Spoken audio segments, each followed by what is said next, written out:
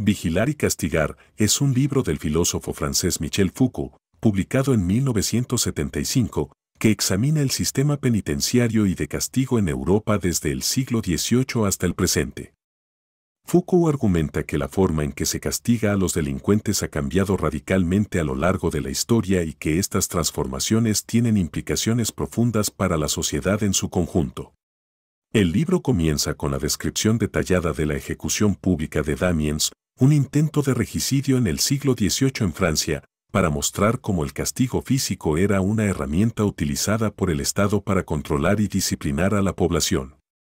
Luego, Foucault describe la transición a los sistemas de encarcelamiento en el siglo XIX, donde los delincuentes son aislados y disciplinados para convertirse en ciudadanos obedientes y productivos.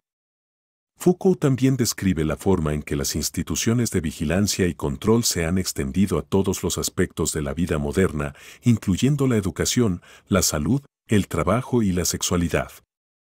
El autor sostiene que esta proliferación de instituciones de control ha llevado a una sociedad cada vez más disciplinada y jerarquizada, en la que la libertad individual es cada vez más limitada.